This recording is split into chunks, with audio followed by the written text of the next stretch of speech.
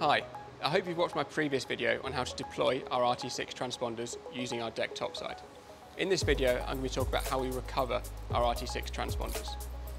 I'll be using the same kit as previously, so that's our Nano Dunker, our deck topside with release functionality, and an RT6 1000. But it's important to know that all the steps are the same across our whole RT6 family.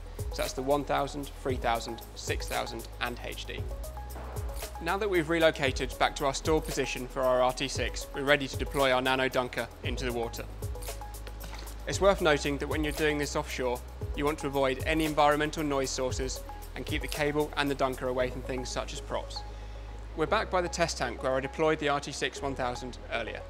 Now we want to establish an acoustic link with the deployed RT6. You can do this by selecting the refresh button. You'll now see that the acoustic data is all up to date meaning that the communication has been successful. Once the communication is established, you can release your RT6. You do this by selecting the release action and then open.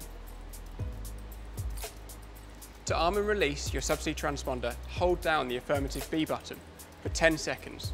Once complete, the RT6 subsea will initiate its release mechanism.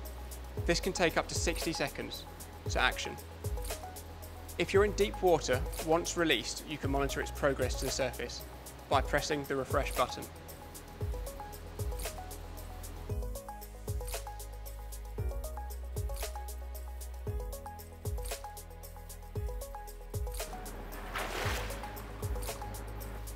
I hope you found this video useful on how to recover your RT6 1000 or any of the RT6 family with our deck topside. There's loads more videos on our website and on our YouTube channel and don't hesitate to get in contact if you've got any questions. Thanks for watching.